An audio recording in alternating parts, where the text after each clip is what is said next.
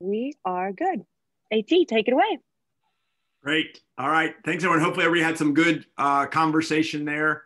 And you know, obviously, we you know we loved having these face to face pre-COVID, but hopefully, this is still at least a little bit of good networking for you uh, as we're virtual here. So, again, I want to thank Anju Mathew, CEO and founder of OncoLens. Thanks for joining us today. Hey, thanks for having me. Yeah, no, we're excited to to share more about your story. So you know, what we'll cover here is probably three areas. We'll start with just a little bit of Anju's background uh, and how she got into healthcare and startups, then move into the OncoLens story of how it came about and some of the things that they've done uh, along the way and the successes and challenges and lessons learned. And then we'll wrap up with just some broader thoughts on Atlanta and healthcare and entrepreneurship. Um, so with that, Anju, you know, go ahead and just just just jump in you know, how did you decide to even get involved in healthcare as you were, you know, coming out of school and, and starting your journey? Yeah, no, that's a great question. Um, so interestingly, you know, I was always interested in healthcare, and I would say the more of the science behind healthcare, right, and uh, disease treatment and things like that. So just growing up. Um, so you know it obviously we come to a point of time when we need to choose a career and i had enough exposure to the healthcare side of things to see how things actually work. And i have to say i was while i love the science scientific aspect of it just watching people and doing their regular lives it didn't really the one part that was truly missing to me was the there was very little opportunity as far as i could see as a kid growing up for creativity right and the ability to change things and build something that goes beyond your years and your lifetime to a certain extent. So um, with that, and then, you know, I loved it. So I, I love the creative aspect of being an engineer and what I saw there, but I was confused there too. And I was like, well, engineering what? Right. you know, so it was just like this thing. But so eventually, anyway, I did go in for an engineering degree. And afterwards, with that, uh, still with that confusion in mind, I came out and started being, I was a product engineer, a software engineer. So my first job was actually with IBM um, and dating myself. And basically I was maintaining, well, just supporting the OS/2 platform, the old operating system. Mm-hmm. And then from there, I realized, no, this is not what I wanted to do, being a software engineer uh, for a long time. So I went to business school and, you know, got exposure to various industries. And I always found that um, I was gravitated, gravitating towards healthcare right? So I like doing healthcare projects. I went into management consulting first with AT Kearney. Um, but you know, always loved to do work on those projects and just understanding. And really, it was what tied back to my heart, right? Is like I felt like, okay, this is something that can make a difference, right? So, you know, fast forward a few years, I was in management consulting, and it just happened that, um, you know, we decided to move. We were in Minnesota at that time, and then decided to move to Atlanta. And um, I thought I would take a break and come and find, I would find another, you know, a nice job. And the day we landed in Atlanta after a break, a three month break, was when Lehman Brothers went down. So this is in 2008. So with that, you know, my whole job search strategy changed. But as you know, opportunity comes out of, um, you know, sometimes what looks like disaster uh, I met two scientists actually. So um, they're actually prolific entrepreneurs in the in the healthcare space uh, here in Atlanta, and we co-founded. So with my background in business, we co-founded a medical device in the cancer imaging space. They had access to this technology called polarization subtraction. So that was my first foray into healthcare and entrepreneurship, and I loved it. And um, so with that experience, I knew that I wanted to be an entrepreneur. I, I wanted it to be in healthcare. Um, and did that for three years. We built the medical device. We weren't able to take it through clinical trials, but we sold the technology. Um, but then, so I very much knew at that point, I'm going to be in healthcare. I need to learn more. And so that's when I decided to go to McKesson. Um, and with my strategy background, I joined their corporate strategy and M&A group. So again, that gave me exposure to a lot of different parts of McKesson and the various businesses. And then from there, um, I was invited to join McKesson's medical surgical business unit and lead their technology innovation and partnerships. So first starting with what they call primary uh, care, which is actually physician practices on the distribution side. And then afterwards, I had um, held, um, held IDNs as well as post-acute care. uh, all under me. So that again gave me the opportunity in a very McKesson MedSurg, in fact, had just gone through a, a merger with the second largest player in the country. And so it is a very, very entrepreneurial environment. Um, and uh, frankly, I loved it. But it also gave me the ability to learn multiple aspects of growing a business um, because it gave me exposure to working working very closely with the sales team. I didn't they didn't report directly to me, but it was very much that we were launching new products, new solutions, and so it was a very combined team team effort. Building those solutions, marketing those solutions, getting it out into market, and then customer success. So owning that entire process just positioned me very well um, for being an entrepreneur as well, even though I was within a very large corporation. Yeah, no, in, in, interesting there, Anju. So a couple questions on, on that, right? That you said, I want to talk about the diverse background in, in a second, but you mentioned, hey, when you first tried it, entrepreneurship with combined healthcare and the med you said, I loved it. Sort of yeah. why? What was it about it that sort of, you know, got you excited uh, and, and fascinated with that space? Yeah, so I think it's really, you know, what pulls at your heart, right? You feel like you're doing something that makes a difference number one. Um, and it was again, you're you're being a pioneer in an area. I mean, that's that's the beauty of being an entrepreneur sometimes, especially if it's something new and innovative. You are pioneering a new path, a new path forward, right? It's changing the way things are being done. And that's what I love about humans and humanity, humanity in general. I think we have ultimately sometimes it goes bad, but most there's a lot of good in what we do and we bring innovation to to the space. So um, yeah, I think it, you know, it's it's a very subtle thing. It's hard to describe, but it's really that that feeling that you're making a difference. Yeah, very, very cool. So let me ask this question because one of the questions I, I get from entrepreneurs a lot is when should I start my business? Like, should I do it like right out of school? Should I go work for a little bit? Should I get some of these experiences?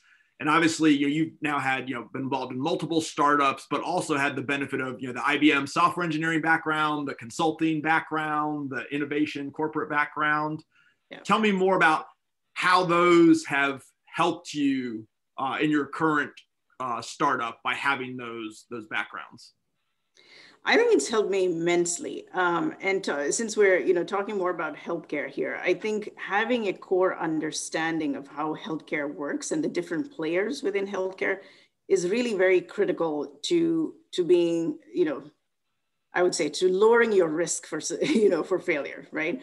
Um, it, you can still work through it, you can still learn, you can be a fast learner, but just having that uh, I would say a few things, right? So almost an embedded network that can help you move faster, right? And in healthcare, things take time. You have to, it is a longer sales cycle.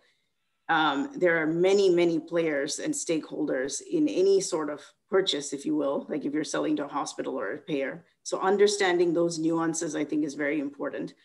Um, but then things that apply also across any type of business, right? How do you manage a sales team? How do you bring customer success, product development, sales all together and kind of running at the same time? Those are elements that even if you don't necessarily directly manage those um, in your prior like career, at least observing and see how that's been done, I think just gives you a little bit of a leg up, right? Versus getting jumping straight into healthcare. I think I've, I've seen several people who jump straight straight out of school and try to start something in healthcare. You learn a lot, but I think you could. There's a lot of risk there as well. I think that makes a lot of sense. I think obviously you know, one of the things that I think makes healthcare different than other industries is you, know, you could go start a B2B software company and put a web page up tonight and get 10 customers. Yeah. Uh, but healthcare doesn't work that way. And to your point, you've got to be able to navigate all the different stakeholders because there's always many involved and, and some of how it works and the relationships because they are longer sales mm-hmm. cycles, et cetera. So I think that that experience makes a lot of sense that you were able to understand and that probably better positioned you to navigate uh, mm-hmm. those things because your experience. Well, great. Well, maybe let's transition then a little bit to you know what you're working on now with, with. So maybe just start for everybody who doesn't know, you know, what's the elevator pitch on OncoLens, and then we'll go into like how you even started on on that idea. Yeah, so OncoLens, uh, we are a digital SaaS-based platform for cancer centers and cancer providers. And what we facilitate is that multidisciplinary care treatment planning. Um, so for those who are familiar with cancer care, you know, it is a very multidisciplinary specialty, meaning it does require the involvement of several core specialists like medoncs, radoncs. Um, you can still see me, right, AT? Just yes. make sure. Yeah, okay. I have flaky uh, internet connection here. Uh, medoncs, radoncs, radiologists, pathologists, and you know, ancillary providers. And all of them truly need to come together to make the right treatment plan for a, for a patient. However, what we struggle with is your data as a patient might be in different silos. You have a primary care practitioner and then you have medonc separate, surgery separate. That needs to come together. The team needs to come together. And cancer now is in a space where the data is changing so rapidly. Um, just four years ago, in fact, we were with, uh, talking to one of the uh, genomic providers, uh, testing providers yesterday. The mutational level data was basically, it was, they had 4 million records in their database four years ago. Right now it's 73 million records, data records. So that's how fast the data is moving and treatments are very base specific to your genotype, the tumor genotype or your genetic makeup, right? And it's very hard for providers, especially in the community to stay on top of those uh, decisions and treatment uh, options. So what we do is we bring all that together for the care treatment uh, team. So aggregating the patient data along with the right team for the, that patient, along with clinical decision support. So what are some of the right treatment methodologies, the latest treatment methodologies, evidence-based guidelines, clinical trial matches that are applicable to that patient so they can build out to that the, the right treatment plan. Very cool. Thanks for that overview. Uh, and lots of cool things we'll dive into here on, on that in a minute. But so then back to you, hey, you were working at McKesson, you, you're, you're doing some great things there, got some exposure to innovation and the other corporate functions how, tell me more about how this idea came out and how did you decide, hey, I want to go pursue this idea? Yeah, great question. So a couple of things. Um, you know, while I was actually at McKesson, um, so my father, and slightly before that, uh, my father was diagnosed with leukemia. And when he was diagnosed, he, he was pretty much given two weeks um, and said, you know, yeah, you, unless you go into some sort of treatment right now, you have two weeks to live we met with three different physicians at the same institution and each physician gave a different recommendation. One was, it's really a hard process forward. I would just wrap it up, don't do anything. Um, the other one was go aggressive chemotherapy. And the third one was a bone marrow transplant. And, he, you know, with him being the patient and he, he had two weeks to live, I saw basically that he had, he had to make that decision on his own. Coming from other industries, you know, when you're giving such a strong recommendation, um, or even like if it's a just a hundred thousand budget spend, you talk to somebody else about it, right? There's a t- somewhat of a team-based approach that does not happen in healthcare. So I definitely, you know, walked away from that experience thinking, well, that was, you know, how do I really wish they had come to us saying, well, we discussed this as a team, and this is what we feel is, you know, the best recommendation for you. But no, instead he was left to go make that decision on his own. And that's why you see a lot of patients will go for a second opinion. They'll try and manage that process on their own. So definitely some breakdowns there that we observed. Um, and then flash forward a few years forward, we were talking about this. I was having this discussion with my co-founder, um, Lijo, who is a practicing hematologist oncologist, and um, actually one of the directors of the one of the Emory sites. And we were talking about this multidisciplinary treatment process, right? That planning process. And it was just it was amazing to hear how hard it was, right? To get the data together in a timely manner, because cancer patients, you have to get that plan pretty much within two weeks of diagnosis, right? But get all that data together at the right time, get all the specialists together at the right time with the relevant information, and then highlight some of the, you know, what are the what are the relevant treatments and making sure that they're up to date on that. That's a really hard process, right? And they were spending just to get the data together they, they had resources full-time resources. For four meetings they had two um, like that to discuss on average five patients per meeting. They had two full-time resources just to pull the data. Mm-hmm. so at that point it was well okay well let's see if we can we can improve on this process you know and they were called they're called tumor boards. They've been around for 30 40 years they had gone down to the point where you know they just ended up being meetings where providers could come in meet each other have lunch breakfast or something like that but it wasn't truly that there was a lot of opportunity for improvement so that's where we started and uh, you know i was like well this is healthcare so i'm not I, am going to start with a prototype and MVP and let's see how it goes. Um, so we, we put that in place at Emory DeKalb after a lot of discussions internally with how the process works. Um, but then saw some amazing results from there. So within the first year, we saw a 90% reduction in the needed time and resources going into that planning process. Um, so from there, you know, with that initial success, um, actually other hospitals started to ask for it. And then I wanted to test the market a little bit further.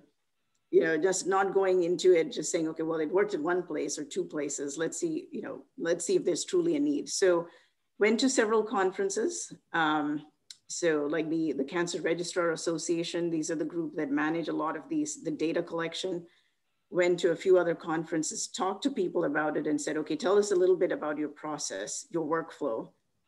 And from there, trying to assess, okay, where is there a need? And the, the one thing I always, especially in my prior days with innovation, I don't start with a solution and ask them, okay, will this help you? I start with what's your true pain point, right? Because if you ask, if you say, if you've put the solution in front of them, they'll say, yeah, yeah, I'll try it. But when it comes down to brass tactics, they're, they're not, they probably will not try it. You have to really understand whether they have a pain there. I think that's a, gr- a great point. I want to pause and highlight. I mean, that rings so true to me, right? Is that too often I see people go pitch their solution. I do X, Y, Z. I save all. And to your point, you're gonna get a lot of people say that's nice, or yeah, I tried, or yeah, I'd use it, but they're just being nice. They're not yeah. really gonna gonna do it, and you're fooling yourself. Versus, I loved how you said, "Hey, I already had something, but I still went and asked. Tell me about your workflow. How are you doing it?" Um, I, I, love I love that line of questioning. So, big takeaway for anybody in the audience there: start with the problem, uh, not the solution. Solution. So, Andi, let me follow up on a couple things there. You said which are interesting. You know, first was just Emory DeKalb, right? Obviously, getting your first paying customer, your first customer is hard in any industry, but let alone in healthcare. What were some tips or tricks you learned of how to build that relationship and get somebody willing enough to try it to get you those great results uh, that you could then use to, to talk to the next uh, system? Yeah, no, that is a great question. And I have to say it was because Lijo was, you know, had that relationship into Emory DeKalb, right? And so, and we were, and he was close with the director there. Um, and same thing. So they were our first beta site and our second beta site was Southern Regional down South. Um, I think it is important. Uh, I mean, either it's through it, through some channel of yours internally. It may be through if you're part of an incubator like um, ATDC and it was trying to uh, connect different companies with other institutions that may pilot something. Um, but I think it's always helpful if there's somebody in your team or you yourself have a connection into a hospital. You may do it through an advisor, you may do it through an investor, right? But finding those in one way or the other, a connection and I, I do believe that connection should be strong because especially when you are piloting something, there's always going to be issues, right? You're going to have to fix things. And that person has to basically work with the other stakeholders and calm them down and say, no, we're fixing this. We're going to be working through this. So they have to support you on the customer side, right? I think one of the biggest dangers is you launch, you launch your MVP it doesn't work the way the customer wants it to work. It's not perfect. And we all know that we can't make it perfect. And then they may say, no, that's it, we're done, right? You get one or two chances to try. So the person who's supporting you internally on the customer side has to be able to really push that forward and believe in what you're doing. I think that's, that's another great point I want to pause on is that the product is never perfect, especially at the beginning, right? and having the expectation that your pilot delivers the perfect anything is going to not set you up for success but more importantly like you said having a partner who believes in the vision of what you're doing and is willing to work with you to make it solve that uh, is so powerful and it's just a different frame of mind that i think that allows you much higher chance of success of mm-hmm. figuring out you know what it is to solve that problem yeah and I, i just like to add to that too i think you know I'm sure there are entrepreneurs in this group as well. And you know, if you're thinking of starting something and you are not fundamentally, uh, you know, working with a provider, let's say you're targeting a provider, um, as your customer base, I think it's very important to have somebody in your team who who is. And I think it helps longer term in terms of just opening it up, opening up even discussions from a peer-to-peer level. The fact that Lijo is my co-founder, he's a physician, a practicing physician, it just helps open the doors immensely, especially during the early days when you need that early traction and you can have a peer-to-peer discussion then with another physician, right? Another provider group. That's that just helps tremendously. I, I would echo that from my personal page trying to sell products uh, without a you know chief medical officer or physician in the room. I, you know, one yeah. of the common things I would get was, well, when have you practiced medicine? You know, and, yeah. and, and, and, questions like that, and just having that person in the room or can talking the language uh, makes a big deal, even if they're an advisor or somebody that you bring in uh, mm-hmm. as needed. Yeah. Well, let me just uh, just quick you know time check. We'll probably go another you know five ten minutes here and then switch over to q&a so folks if you have q&a feel free to put them in the chat and jc will consolidate them uh, and ask at the end but anju let me go then from hey you, you got the first one you got a second one and now you're talking to folks and hearing the problem consistently. You know people talk about product market fit all the time and it's an ever evolving thing but when did you start to know or what were the signs that led you to believe hey i'm really on to something here and this can scale beyond just this one hospital? Yeah, so um, it was after, so we, we had several discussions after the, we did the beta and we were still having those discussions on an ongoing basis. And um, I would say, you know, as we started to talk to folks and started to see, okay, yes, we do have a significant pain point here. Um, we, you know, I can't pinpoint a specific number, but as we, I would point it out to almost like, okay, if you meet, like you're meeting you know, five to six different people and you have, uh, I would say on average, two people outlining, yes, this is, this is a problem I'm very familiar with. Obviously it has to be that right target market, right? But there's, you know, approximately 40 to 50% of the people saying, yes, this is a, this is a problem that we deal with every day. Um, I think that that gave me a sense of after talking to them and doing that market research and customer discovery that yeah there is there is a market for this now i will still say where we tripped up though was in the pricing right so yeah there's a market for it but at what price right and so that is i won't say we solved that right off the bat in fact eh, probably one of the things that took me some time to figure out is we went out with a different price point, but then this is the complexity of healthcare. It really depends on where your budget is coming from, right? Um, again, it may not apply so much to payers. Frankly, I don't know much about the payer world, but on the provider side, where your budget is ultimately coming from matters a lot. And initially, the way we positioned the product was to the cancer registry, which has a lower budget, right? Point, and they have restrictions on their budget. So pricing became an issue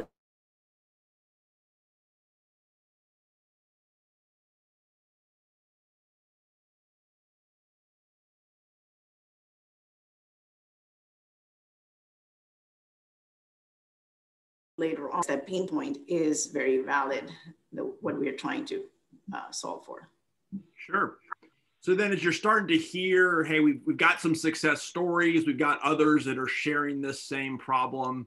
You know, another common question we get from entrepreneurs is, hey, should we raise money or not to grow and try and tackle this? And obviously you've been very successful in terms of raising close to $12 million, you know, especially from some local folks here as well. Tell, tell us about your thought process there and sort of any lessons learned on, on deciding to raise money and, and, and go after this problem? Yeah, um, again, very good question. I think it's also a personal or the decisions of, you know, and you, whoever the founders of the company are, right? So um, initially, I would say, so the way Lijo and I approached this is we wanted to bootstrap the company and we were in a position to bootstrap the company till a point where we had enough market traction. We already were, you know, we were revenue positive because we didn't want to take on that much dilution up front, right? Um, so we did that. And um, I will say though, the, the fact that expedited the need for funding was the was we could see very much in front of our eyes that the market was also moving forward.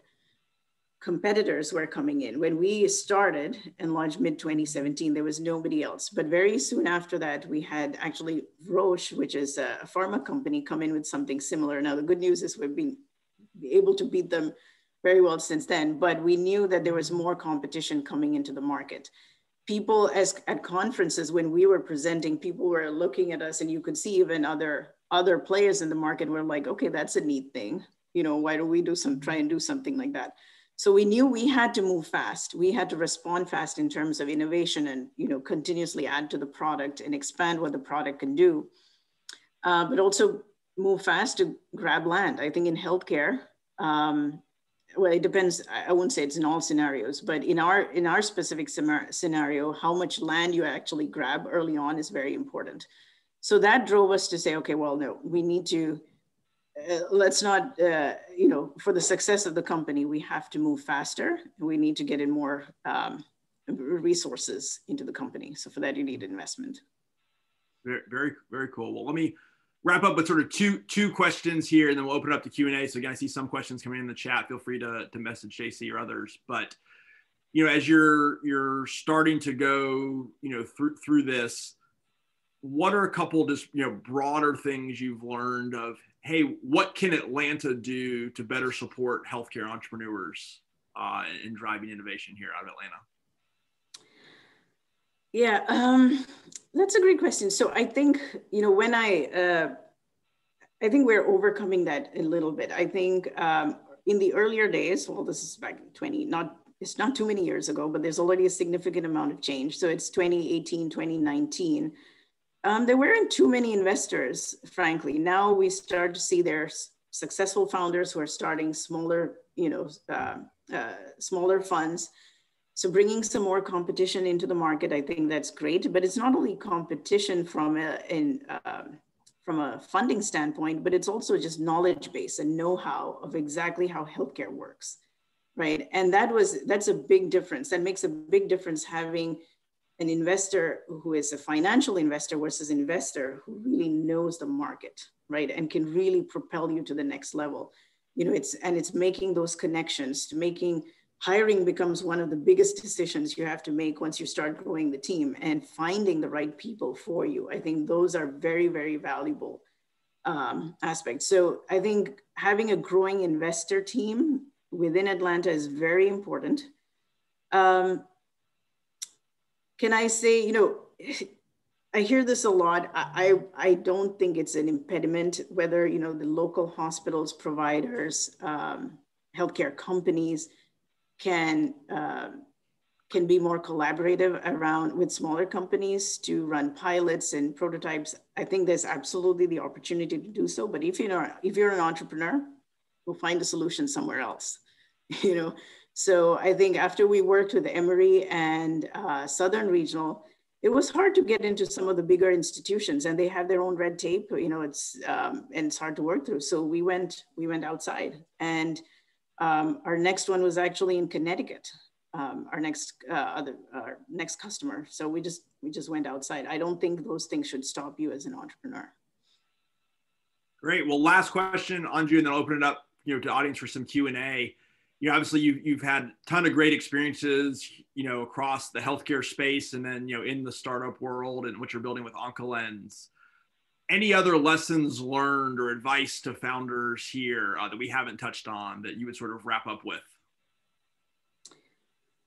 Um, that's a good question. You know, I think for me, you know, um, as you're growing your team, so there's various phases in which your company will go through it. I'm looking forward to the, the future and the challenges that you go through. But when I look back, you know, there's a point of time when you're figuring out very early on product market fit. Then you have to start scaling um, and you're starting to build up from there. I think across the board, um, the one thing that becomes very important is your team and always keeping, I think it's always you know, we tend to say, well, let me get to this next point and then I'm going to hire the next person. I'm going to hire the next person. I think for me, what has, where I lost a little bit of traction early on was saying, okay, well, I have some more time before I hire the, the next person. If you find a really good person, you have to start thinking the, a little bit more one or two steps ahead. your team is ultimately going to be what is going to make you successful. Um, and so getting those people, you find them very, they're strong, they're strong candidates, they can help propel you to the next level, you know, get them in or try and grab them as soon as possible. I think that really, yeah, it's building out you, you know, once once you come to the phase of building out an organization, it's who you hire then that becomes the most some of the most important decisions. Yeah, that's great. I love love ending with that. You know, one of the things I always love that you know David Cummings says is you know the, the team and the culture is the one thing it's 100% in your control as an entrepreneur uh, that makes such a big difference. There are so many other things that you can't control what competitors do or how the sales process completely works and and everything like that. Uh, but you can 100% control your team and your culture and spending the time on that uh, and hearing that from you, Anju, of how important that is. Uh, I love that. Well, great. Well, let me open it up to questions. I know some were coming in via the, the chat. Uh, JC, if you want to yeah. hop on, maybe ask a few of those, and I have some others as well. But let's, let's start with what's in the chat or come to you first. Yes.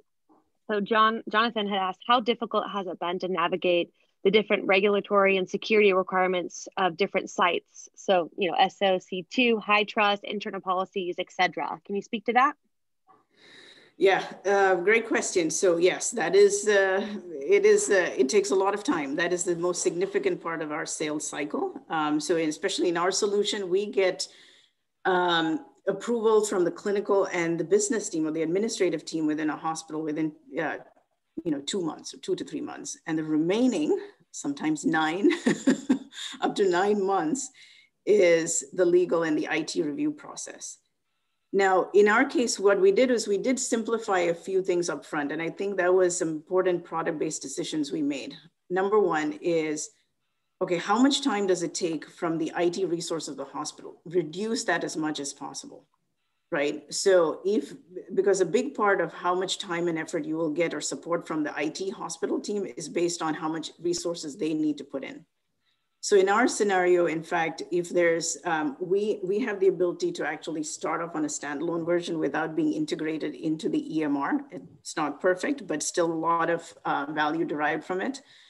So we enable that. So that requires pretty much no IT resources from the hospital side.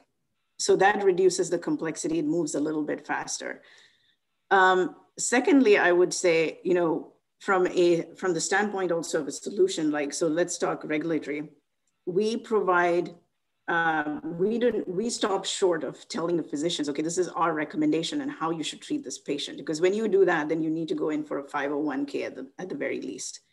We give them this is the relevant information that can help you make the best decision for this patient. And that's where we stop. So we don't have to cross that that barrier then the third one is again HITRUST and all those certifications um, absolutely so when now those are expensive so when we started out we had third party audits on our platform um, we did our internal audits we had all the documentation ready for our hospitals once they saw that we were organized, we had this, and we had a roadmap to a HITRUST or SOC 2 certification. They were actually, it was very interesting. We didn't come across much pushback. And it always helps, again, if as part of the customer, and this is our biggest learning, I think, when selling into providers, you must have a business or a clinical supporter or sponsor. And if that's a strong sponsor, frankly, they can push through a lot of these barriers. Yeah that's great advice. Hopefully uh, we can use some of that or some of those folks can use it. Um, here's a here's another question um, what order of functions did you hire as you grew i know you just were speaking about that can you give a little insight onto kind of the process yeah yeah no great question it's one i always uh, think about too uh, it's like why did i do that but anyways uh, so when I started, um, obviously, so I had an IT team. Now this was interesting. It was uh, they were an outsourced IT team. In retrospect, I would not do that again. Um, it is very hard to control, especially in your prototype, um, the uh, uh, an outsourced IT team. The timing is different. It wastes a lot of your time. Um, and especially when you are in the in that framework of building something new and you have to sometimes scratch things and start first having somebody, a local partner, um, it doesn't have to be a CTO necessarily. Do, I don't think you need that if you are just testing out a, an idea or a prototype, but having somebody local to work through, work with is, is good. And sometimes the quality you get is much better. So, um, but that was how I started. I started with an outsourced IT team. And then the next role that I brought in was actually because we started sooner than I even thought, we started bringing on customers. So I needed a customer engagement or success manager. And she actually had a background as a cancer registrar. So it helped from that uh, SME perspective too. The second one that I was really targeting at that point was because I had that IT outsource team still was a sales lead, but it was very hard for me to find the right person, again, going down to the right culture and understanding. So we, we kept, uh, I kept trying at that, but then simultaneously, then I knew I needed to bring in an IT lead. And so he was, he was our next, our head of uh, uh, development was the next hire uh, for me. And he was, you know, again, a true partner that helped, um, that helped, uh, you know, build, build the company. So in summary, it was outsourced IT development team, then customer success, um, one and then two people, head of development. I was still, but I wanted to bring in the salesperson earlier because the sales cycle is longer in healthcare. So frankly, it buys you some time on product development. Awesome. Yeah. Thanks for, thanks for sharing that. I think just for, for time's sake, maybe AT will, um, if there's no more questions, wrap it up. Yeah. Thanks again, Anju. Really appreciate you taking the time. Such great lessons learned there. I got really love, you know, starting with the problem and then the importance of building the team and culture and having that physician as an advisor or on staff to have some of those. I love some of those uh, lessons learned there. So appreciate you taking the time. Uh, just oh, as, as next steps, you know, to, to wrap up, uh, again, you know, we'll have another uh, Atlanta startup combos with other early stage entrepreneurs coming up here the end of April uh, as well as early May, we'll have another healthcare meetup. Uh, still working with a couple folks on on who will be a part of that, but probably early May. And then just last thing I want to point out is just for those who are uh, new to this, we have a page on our website uh, around healthcare, just just to highlight. It's got recordings of our past meetups. It's got events from local area organizations and, and such.